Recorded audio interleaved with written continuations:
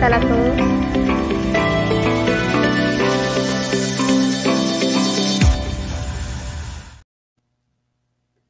Hola, ¿qué tal a todos? Bienvenidos a una nueva temporada de podcast de Revista Construir, más bien de Comunidad Construir, donde vamos a hablar una serie de temas muy relevantes para este 2023. El día de hoy tenemos a dos invitados muy importantes, como es el ingeniero Rutilio Villarreal, presidente de la Sociedad Panameña de Ingenieros y Arquitectos, y a Nicolás Ramírez, director ejecutivo del Green Building Council de Costa Rica. Vamos a estar abordando junto a Malca Meckler, que es periodista de Construir, las perspectivas del 2023 en el sector construcción. Bienvenidos a todos, ¿cómo están?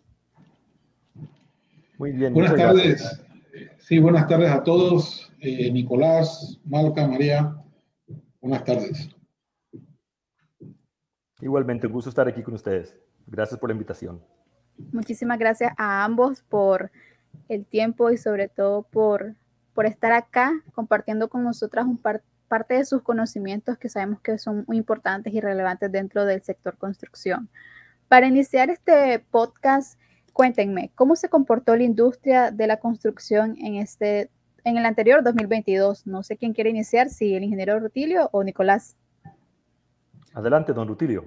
Gracias, Nicolás. Bueno, el, 2022, eh, la industria de la construcción en Panamá, eh, pues estuvo, estuvo un repunte luego de, la, de regresar de la pandemia del año 2020-2021.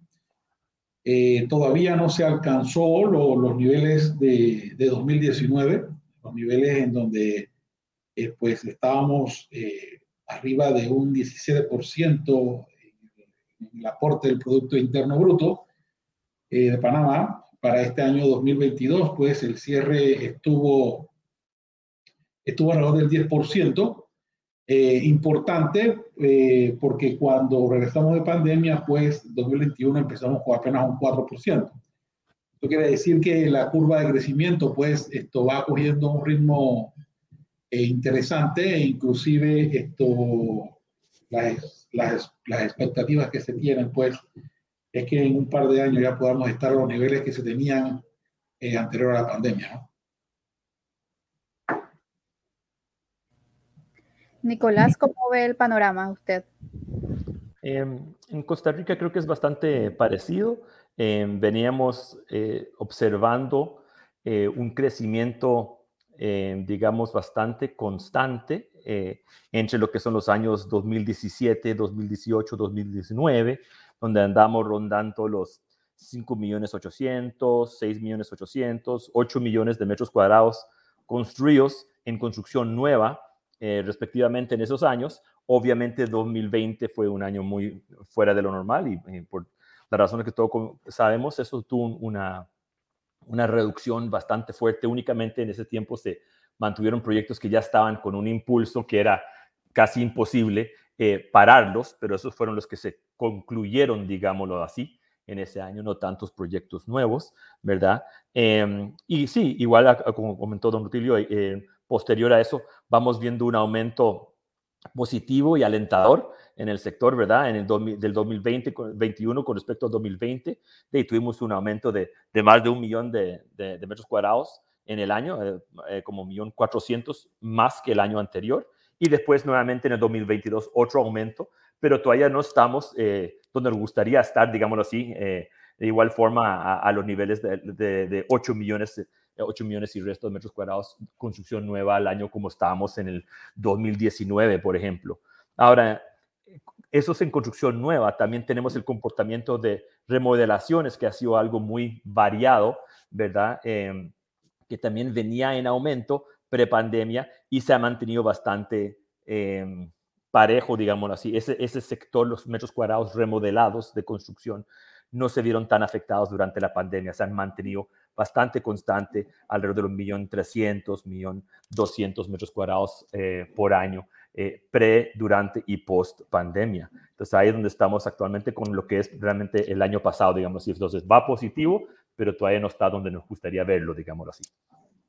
Definitivamente la pandemia vino a golpear muy fuerte lo que es el sector construcción, pero sabemos de que hay otros obstáculos, por ejemplo, el precio de materiales el año pasado en muchos países de la región estuvo muy disparado, eran precios demasiado altos y para la obra definitivamente se salía un poco de los costos. Entonces, ¿pueden abordarme ambos o uno de los dos cuáles fueron los mayores obstáculos que se presentaron aparte de la pandemia?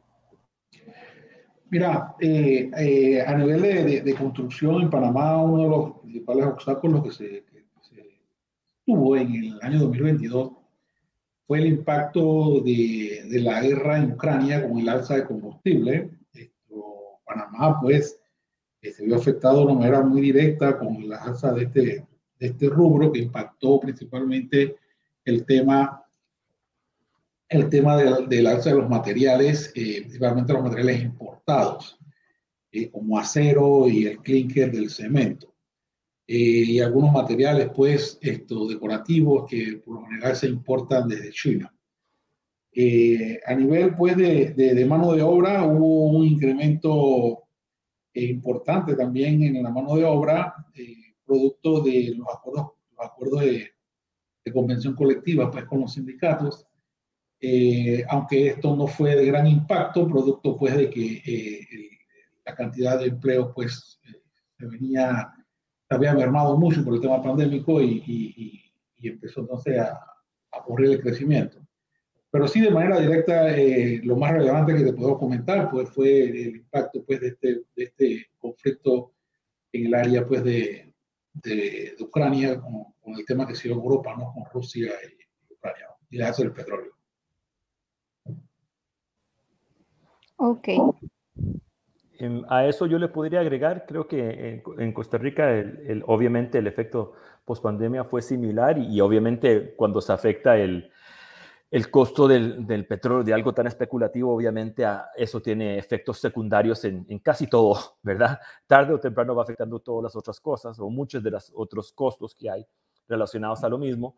Em, yo solamente le agregaría a eso tal vez que es, no es directamente pandemia, pero Em, como efecto secundario de pandemia, yo creo que el año pasado todavía estábamos una importante parte del año sufriendo temas de logística en, mucho, en muchos de los rubros, como mencionó Don Utilio, lo que son materiales importados y materia prima importada también. A veces la logística representaba gastos excesivos o incertidumbres mayores de lo normal o de lo costumbre y por ende eso repercutaba en eh, costos, ¿verdad? En costos mayores de lo, de lo normal, de lo que esperaba. Eso ya se ha ido normalizando, todavía en algunos casos hay un poquito, pero ya casi no es un factor, pero sí, sí lo fue, creo yo, por parte importante del año. Y tal vez más encima de eso, algo un poco más macro, es la, el gran sentido, o digámoslo así, el comportamiento de los inversionistas en cuanto a toda la incertidumbre eh, y duda que todavía quedaba y todavía queda post pandemia, ¿verdad? qué tan protegidos estamos contra esto, qué riesgos hay, cómo se afectan los retornos en, inversión en diferentes tipos de proyectos, cuándo voy a ver ese retorno, eh, todo ese tipo de cosas eh, creo que son temas que también afectaron ese, el comportamiento del año pasado y lo siguen afectando. Ya pasando para este 2023, ¿cómo visualizan ambos el sector construcción, tomando en cuenta lo que se venía en el 2022? Mira, nosotros tenemos esto, eh, un, un panorama muy positivo en, el tema del crecimiento de la industria. Eh, justamente eh, anoche veíamos algunos números en cuanto a las proyecciones de 2023. Se proyecta un crecimiento alrededor del 9% para este 2023 en, en, el rubro construcción. Eh, esto pues prácticamente distribuido en lo que son las construcciones de viviendas unifamiliares, pues orientadas en el, rango de, precios de más o menos 70 mil a 120 mil eh, dólares, eh, para los cuales pues se tiene eh, un proyectado para este año la construcción alrededor de 54 mil viviendas, según las cifras del Ministerio de, de Vivienda y Ordenamiento Territorial. Algunos proyectos importantes deben, deben a nivel de infraestructura, deben darse este año, como, como es esto, eh, la máxima, a máxima capacidad del cronograma de trabajo de la extensión de la línea 3 del metro eh, y el túnel que, que, que, se, que se a construir bajo el canal de Panamá, pues que ya ha, ha dado inicio eh, hace dos semanas. Eh, también eh, se tiene proyectado a nivel de infraestructura importante iniciar con los proyectos de construcción del cuarto puente sobre el canal de Panamá, aunado pues a una serie de, de, proyectos que será dado de proceder a nivel del Ministerio de Pública a lo largo de toda la capital, de, todo el país, que suman eh, alrededor de unos 1.200 millones de dólares. ¿no? Así que el tema en inversión de infraestructuras es lo que se espera para este año con una fuerte inversión del, por parte del Estado, eh, acompañada pues por parte de la casa privada en el sector inmobiliario, principalmente en la construcción de casas en este nivel que habla, en nivel más o menos de, 120 mil dólares.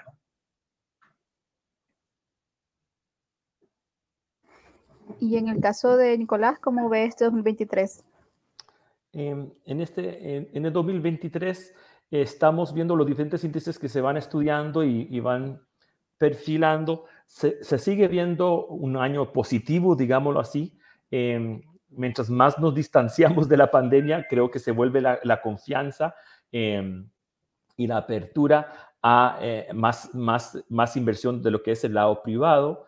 Em, también vemos que ciertos proyectos del lado del, sector público que tal vez son más lentos en real, llegar a sus eh, inicios, em, ya, están, ya están proyectados, digámoslo así, para iniciar este año. Eh, nos hubiera gustado ver eso el año pasado, eh, eh, nos hubiera gustado ver cómo en otros países el 2022 fue un año en que realmente muchos gobiernos pudieron movilizarse rápidamente e iniciar grandes e importantes proyectos de inversión pública que ayudó mucho al sector, ¿verdad? Em, pero desafortunadamente a veces eso es un poco más lento de lo que uno le gustaría. Obviamente hay ciertos protocolos y demás que se tienen que seguir en lo que son los, los modelajes financieros y todo lo demás. Entonces esperamos que ese rezago o eso que se esperaba para el año pasado sí arranque este año. Entonces eso va a ser una ayuda importante.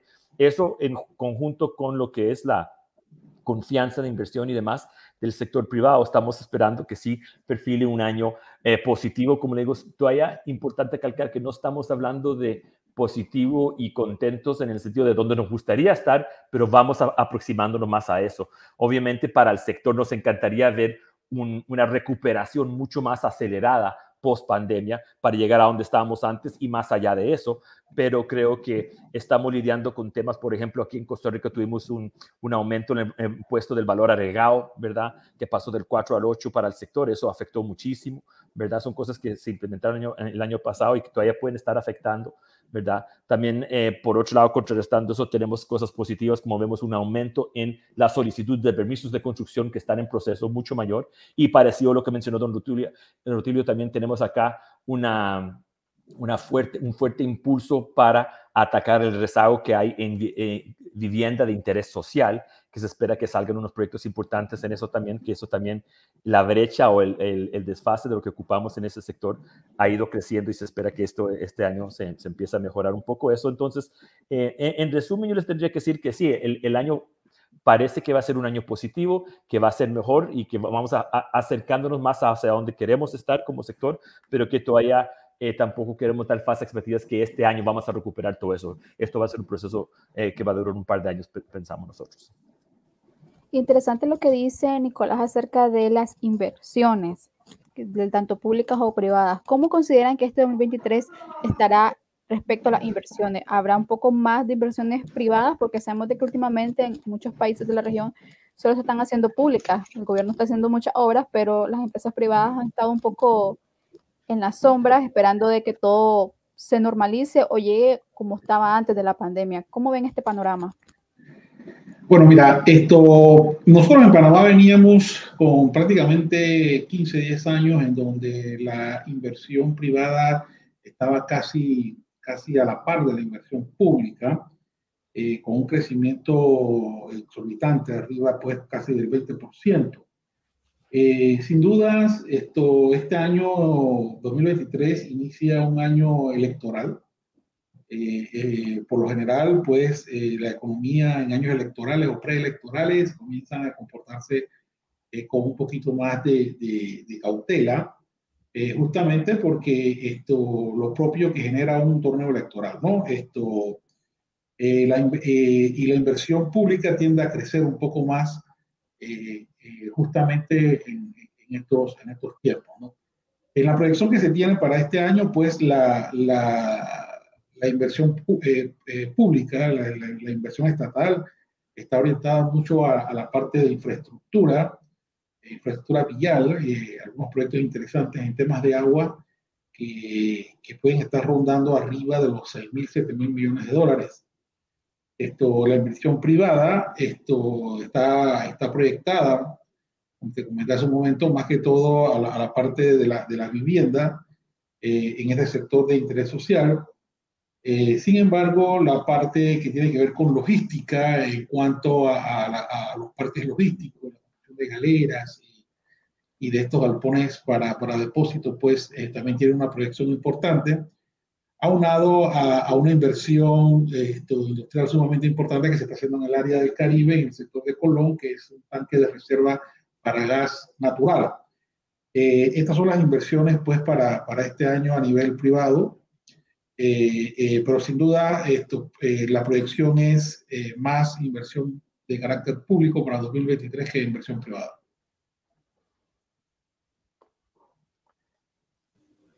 Nicolás, ¿cómo ve esto? por el lado nuestro, em, eh, tradicionalmente la inversión privada suele ser un poco mayor o mayor, mayor o menor grado, perdón, eh, que la privada eh, históricamente. Em, obviamente el año pasado no es, no es un año típico porque todavía estamos en recuperación post pandemia, ¿verdad? Em, y como mencioné anteriormente, nos hubiera gustado ver un poco más de inversión pública, sabiendo precisamente, como usted muy bien mencionó, eh, que la inversión privada iba a estar más conservadora, más cautelosa el año pasado y eso sigue sucediendo ahora. Ahora, este año sí, como mencioné, se espera que haya mayor inversión pública y también mayor inversión privada. Em, siempre, siempre em, igual proyectando que la inversión privada va a ser, eh, eh, creemos que este año ligeramente mayor. ¿Verdad? Eh, perdón, la privada ligeramente mayor. Ahora, en ese sentido, eh, igual hay un par de proyectos emblemáticos que sí se van a estar arrancando, principalmente de infraestructura, eh, carreteras, la carretera 32 y otros temas de transporte, digamos, de vías, proyectos viales en la, la, GAM, la Gran Área Metropolitana, principalmente teniendo que ver con lo que es circunvalación y ese anillo que se va cerrando. pero por otro lado, yo también mencionaría que en todo esto sí se espera que haya una mayor inversión porque hay muchísimo movimiento en todo lo que es, em, hay mucha disponibilidad de fondos, digamos, preferenciales o, eh, eh, em, sí, preferenciales, digamos así, con condiciones eh, preferenciales para lo que son obras de inversión con fondos verdes, ¿verdad? Tanto para sector público como privado. Entonces, esto es algo que creció muchísimo durante la pandemia y recién ahora ciertos inversionistas privados, eh, eh, están, desarrolladores privados están viendo esto, este, comportamiento, esta oferta de parte de inversionistas y tantos bancos públicos como privados están dándose cuenta de lo mismo y también obviamente a nivel eh, gubernamental del gobierno central. Entonces, ¿cómo hay crédito atractivo disponible para proyectos con índole o características sostenibles o verdes, eso sí esperamos que este año se haga bastante eso, porque esa, esa educación, esa conciencia de esa oportunidad que está ahí, recién se está viendo. Mucho de lo que es los fondos de multilaterales y fondos internacionales que se movilizaron durante la pandemia para la recuperación económica en general, iban amarrados con ciertas condiciones de sostenibilidad. Entonces vemos muchas inversiones del Banco Mundial, eh, del BID y de otros donde se están colocando fondos específicamente en, en estas áreas o con estas características. Entonces creemos que eso sí va a ser algo que vamos a ver, eh, empezar a ver movimiento este año y se va a eh, continuar por un par de años más. Parece muy interesante lo que apunta Nicolás acerca de los fondos verdes, porque definitivamente muchas instituciones bancarias están apostando por los mismos y me parece que va a impactar, impactar de forma positiva en lo que es el sector construcción. ¿Qué otras medidas o qué otras cosas pueden haber de forma positiva dentro del sector, pero que también aspectos negativos pueden ser de que este año tengamos dentro de la industria. Mira, esto de, de, forma negativa, pues nosotros esto vemos eh, el movimiento, el movimiento económico que se pueden estar dando en los temas, eh, en los temas internacionales. Debemos recordar que Eh, nuestro principal sustento que tenemos en Panamá es nuestra banca, la banca dolarizada, pues que sin duda esto responde a, a, a los temas del comportamiento internacional del, del, valor del dólar, ¿no? Estos temas, estos temas de macroeconomía y estos temas financieros, pues que, que, que se dan a nivel global, eh, de una u otra manera afectan, eh, nos afectan a nosotros acá eh, un segmento muy de cerca en el conflicto que todavía no termina, el tema del combustible y lo, y lo que puede, lo que puede ocasionar esto, eh, la no solución de este conflicto lo más pronto posible pues en, en, allá en Ucrania. ¿no? Eh, justamente esto, porque Panamá pues es un país de, que, de, de servicio, un país en donde prácticamente nosotros tenemos que importar todos los materiales que, que utilizamos para la construcción y, y, lo que suceda pues en todo este tema de, la, de las rutas logísticas pues impacta de una manera directa eh, eh, la industria. Eh, temas positivos que podemos destacar pues definitivamente el, el, el tema del financiamiento, Panamá pues todavía mantiene el grado de inversión, eso es importante en cuanto al costo, al costo de los intereses de financiamiento. Esto, eso impulsa y, la industria, en el tema del crecimiento. Tenemos también un, un tema un poquito eh, complicado, mera interna, que es eh, la, la, sobreoferta que tenemos en los, en los temas de, de eh, inmobiliarios, en los temas de oficina, en los temas comerciales, en los temas de edificios para de apartamentos ya de alto costo, que poco a poco pues el inventario va, va, va disminuyendo, esto hasta que encontremos los niveles óptimos para comenzar a invertir nuevamente en, eh, en el sector este inmobiliario de ese nivel de, adquisición. Eso que, esos grandes rasgos podrían ser lo, los, los, temas eh, negativos que pueden afectar un, la industria de este año y los positivos que tenemos que nos van a ayudar a llevar adelante el crecimiento que se tiene estipulado, que como, como, como les di hace un momento, pues obedece a un tema de inversión prácticamente en infraestructura, por los grandes proyectos que se están eh, llevando a cabo en, eh, acá en Panamá. ¿no? Nicolás, no sé si va a agregar algo a esta respuesta. Sí, creo que el, el tema de, de, de, la, de, la, guerra en Ucrania es, es, es, importante, ¿verdad? Porque en eso, eh, al ver toda eh, la, la, crisis que ha visto eh, petrolera y demás, que ha sido raíz de eso, vemos bastante, a, a algunos países eh, echando para atrás o frenando iniciativas y compromisos que tenían hacia ciertos tipos de inversión y otras cosas. Entonces, hay un poco, cuando hay esa cautela, a veces se, se vuelve a lo viejo conocido y se, se, disminuye un poco lo que es la innovación, ¿verdad? Eh, eso puede afectar un poco, ¿verdad? Y también yo creo que otro de los retos de este año va a seguir, este año entrante que estamos iniciando, va a seguir siendo esa cautela en general de inversión, ¿verdad? Eh, en cuanto al sector privado, por lo menos, ¿verdad? Del sector público ya no estamos en esa escena donde había crisis, entonces dicen, no podemos invertir en esto porque tenemos que preocuparnos de esos otros temas más urgentes, eh, obviamente de, de, vida y muerte, ¿verdad? Ahora ya, ya pueden alzar un poco la vista y ir viendo prioridades un poco más a mediano y largo plazo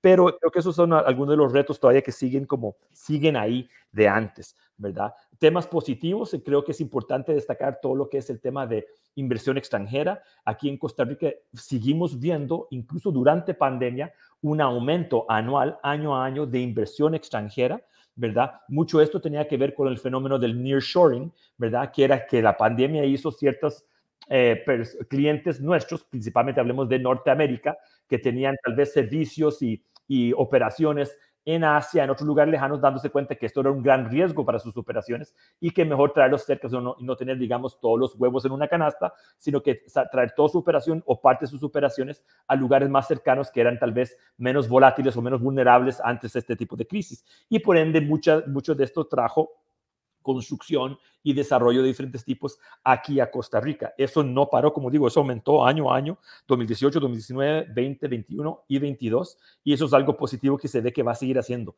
Por otro lado, algo positivo que es, eh, que quedó tal vez como lección de la pandemia nuevamente, es que en este proceso los inversionistas eh, se volvieron más, como se dice en inglés, building savvy, es su conocimiento o sabiduría con respecto al entorno construido cambió antes no había tal vez esa relación que ellos entendían entre el entorno construido, la salud de los ocupantes y la economía, ¿verdad? Lo habían muy desligado.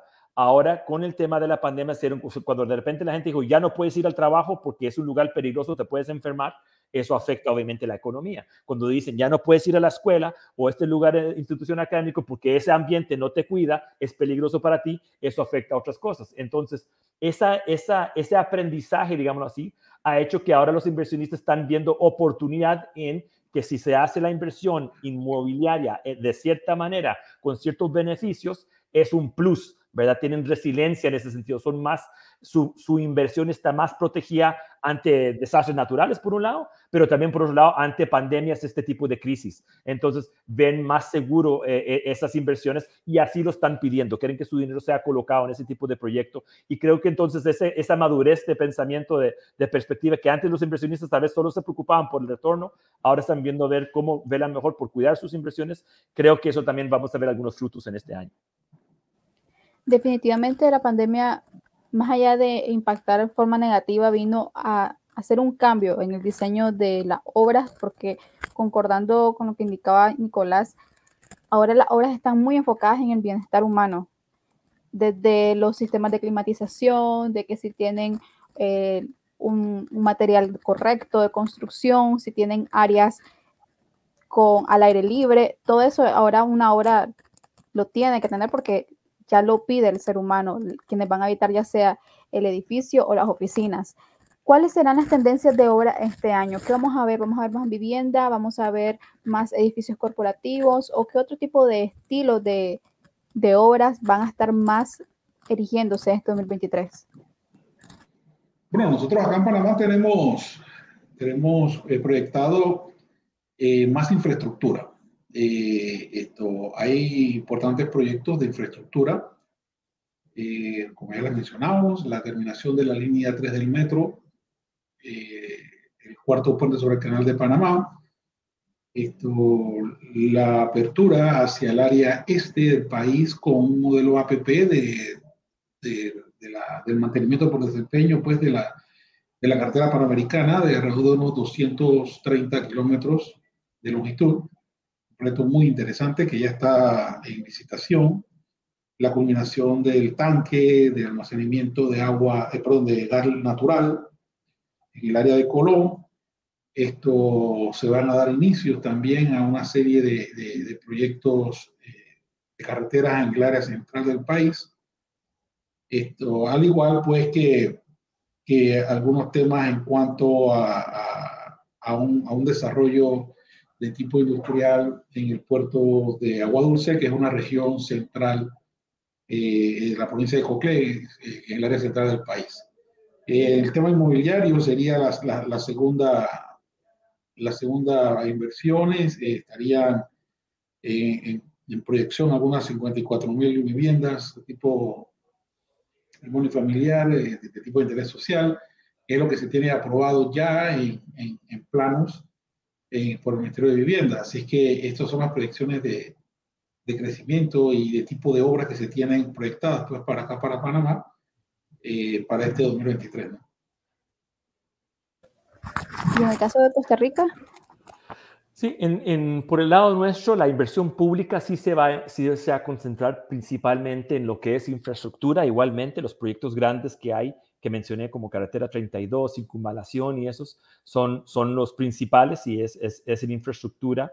Eh, también hay unos proyectos muy importantes en el área de salud eh, del sector eh, eh público, ¿verdad? Em, eh, el hospital de Punta Arenas es un hospital grande que va avanzado y ha seguido avanzando y se espera que culmine pronto. Igualmente, el, nuestro nuestro Ministerio de Salud también proyectado, tiene proyectado iniciar dos grandes hospitales, eh, eh, por lo menos uno creo que inicia este año y otro es eh, una torre, una ampliación del Hospital de Niños que también. Entonces, estas son obras grandes, principales que están por el lado del sector público. Em, creo que también eh, algo que, una tendencia que vamos a ver este año, em, creo que, ah, creo que lo mencionó Don Retiro anteriormente, hay, hay una, una escasez o, había tal vez una sobreoferta de cierto tipo de vivienda. Pues, aquí en el caso de Costa Rica era de vivienda de, de nivel alto, ¿verdad? Eh, había una sobreoferta de eso. El, proceso de la, o el fenómeno, digamos, de la urbanización sigue aumentando exponencialmente, en el cual vemos que cada año hay más personas que migran de zonas rurales a la ciudad y hacen que la ciudad sea más densa y más poblada. Esto hace que obviamente en este momento tenemos un, un desfase, digamos, una falta de oferta en lo que es eh, vivienda, en residencias, principalmente de clase media y baja, ¿verdad? Creo que finalmente eso, eso está, eh, se, ha, se, ha, mapeado y ya están los modelos para que los desarrollos que atiendan ese sector se vayan moviendo. Ya, ya conocemos de varios proyectos apuntando directamente a vivienda de interés, de, eh, perdón, vivienda de clase media y media baja ya están en proceso y se espera que eso se inicie en este año. Entonces creo que va a haber una tendencia de una nueva, una mucho mayor oferta para este segmento que tal vez antes no estaba siendo atendido. Em, y por otro lado, también otra tendencia importante creo que es, es que ya estamos viendo que em, por diferentes políticas, incentivos y tendencias que hay globales, eh, empieza a moverse más el sector de remodelación. ¿Verdad? Eh, eh, el porcentaje de remodelaciones versus metros cuadrados de construcción eh, nueva desde 2014 hasta ahora ha aumentado probablemente en un 4 a 6, creo que estaba en el 12%. si vamos atrás como al 2014 y actualmente está por ahí del 18, ¿verdad? Entonces, em, hay un aumento ahí y creo que eso se va a seguir viendo ayer. Cuando hablamos de construcción, recordemos que no solo estamos dando construcción nueva, sino que qué pasa con todo lo que ya está construido, ¿verdad? Entonces creo que es otra tendencia que se ve. Y de último, creo que va a seguir algo que no es una tendencia nueva de este año, pero ya se está viendo, creo que cada vez más los beneficios secundarios en, en el, digamos, el modelo de negocio macro eh, de lo que son los, los proyectos de uso mixto.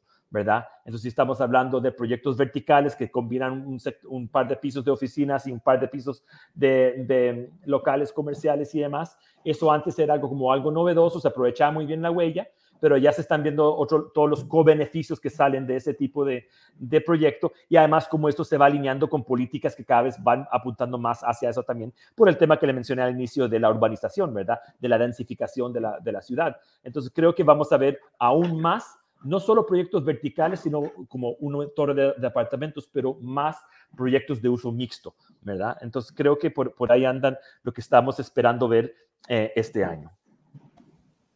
Me gusta como cada uno de ustedes ha una perspectiva diferente. En Panamá está muy enfocado en lo que es infraestructura y de hecho desde construir nosotros leemos mucho que ser, que por ejemplo el MOP va a este año una inversión grande en temas de infraestructura, de puentes, está lo de la línea, mientras que Costa Rica es otra visión.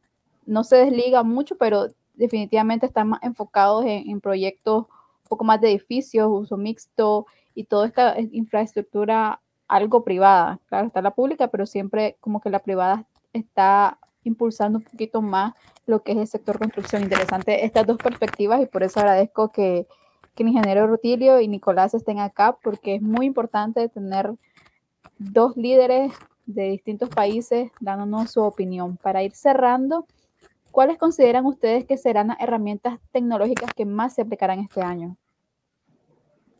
Mira, esto, las, eh, herramientas tecnológicas y aplicadas a la industria de construcción eh, nosotros acá pues estamos en, en, en, los temas innovadores de, de, de, todo lo que son eh, los nuevos materiales que tienen que ver con, con la eficiencia energética. Eh, nosotros acabamos de aprobar en su segunda versión un reglamento para la eficiencia energética en nuestras edificaciones. son, son nuevas tecnologías pues que, que, se van a llevar adelante en cuanto a, a, a los temas de energía. Eh, con todo esto de, del cambio, pues, que, que, o la tendencia mundial que hay hacia, hacia las energías renovables, hacia el tema de la compresión energética, eh, no solamente en la movilidad eléctrica, sino también en la parte de los edificios.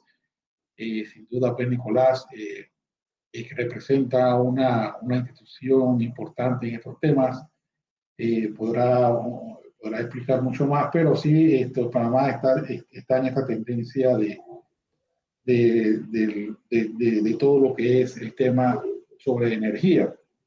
Eh, algunas tecnologías importantes en, en, concretos eh, de alta resistencia y un poco más amigables con, con, con el ambiente.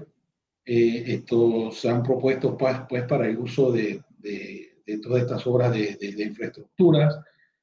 Eh, hemos visto también eh, la incursión ya desde el año 2022 de algunos sistemas eh, importantes en el tema de, de, formaletas, justamente para evitar los desperdicios y evitar todo aquello que, que involucra el uso del hormigón y lo contaminante que puede ser, ¿no? estas nuevas tecnologías pues están todas en función de, de, disminuir ese impacto ambiental eh, entendiendo pues que Panamá esto, eh, tenemos el tema de carbón cero y, eso, y eso pues esto es importante para nosotros mantenerlo, eh, por lo que significa pues en, todo estos, en todos estos temas de conservación y en todos estos temas de, de eficiencia energética. ¿no? Eso yo diría que, que, serían las tecnologías esto, que se pudieran aplicar para este 2023. Eh, vendrán algunas otras, pues, pero que de momento estas son las que te puedo comentar.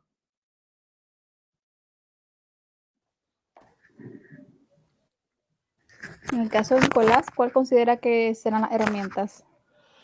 Em, bueno, creo que lo que lo que es, digamos, hablemos de lo que es el, proceso integrado de, de, diseño, es algo que se viene dando, evolucionando hace tiempo, ¿verdad? Que es el proceso donde ya se estamos dejando atrás esa, esa, ese ciclo de proyecto tradicional que era el propietario tiene una necesidad, contrata, contrata un arquitecto, hacen un diseño, elaboran un estimado presupuesto, eh, hacen un cartel para constructoras y después hacen el, el proyecto, ¿verdad? Eso así como segmentado y es, eh, separado en ese proceso cerrado lineal ya se está dejando cada vez más de utilizar y se va buscando algo más integrado. ¿A qué me refiero? En el cual se está tomando en cuenta cuando el inversionista quiere, eh, tiene una necesidad que quiere suplir, eh, va tomando en cuenta, de repente invita a un contratista de algún área o de alguna otra a la etapa de diseño para dar opinión, involucra a alguien de la comunidad, involucra a alguien del sector financiero y se va como que mezclando un poco más todo ese proceso y se va haciendo ese traslape o ese proceso de, de, proyecto, digamos, más integrado con diferentes disciplinas involucradas en áreas no tradicionales o en tiempos diferentes a lo que era lo tradicional. Y un perfecto ejemplo de eso es BIM, por ejemplo, ¿verdad? Lo que es el Building Information Modeling, que son las plataformas, las, tecnologías que hay para que de, repente el diseñador eléctrico pueda coordinar con el mecánico y con el civil y el estructural.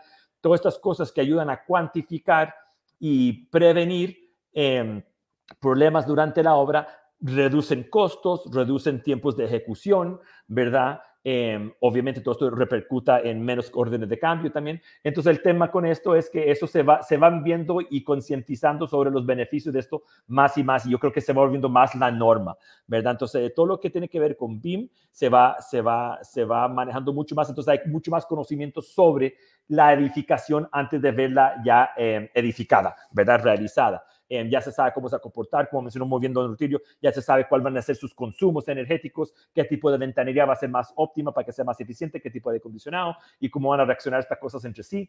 Eh, todo eso se va, entonces yo creo que una de las tendencias que no es algo nuevo, ya, ya viene, pero va a agarrar una fuerza adicional siento yo, es lo que es el BIM. Por otro lado, tenemos todo el tema de ciudades inteligentes, ¿verdad? Donde las municipalidades van llevando la batuta en eso liderazgo donde van integrando diferentes cosas que sus servicios que dan al público, recolección de basura, tránsito, coordinación con semáforos, vigilancia y seguridad en áreas públicas, eh, coordinando con lo que es transporte público, todas esas cosas la van amarrando y ellos también van usando tecnologías para eso, ¿verdad? Los, lo que llaman los famosos BMS, ¿verdad? Que es un Building Management System, donde ellos van integrando información que van recogiendo diferentes fuentes, la integran y la usan para facilitar o mejorar el servicio que dan y para toma de decisiones, ¿verdad? Ahí tienes ejemplos como el OpenBlue de Johnson Controls o otros parecidos, pero son cosas que se van utilizando en ese sentido.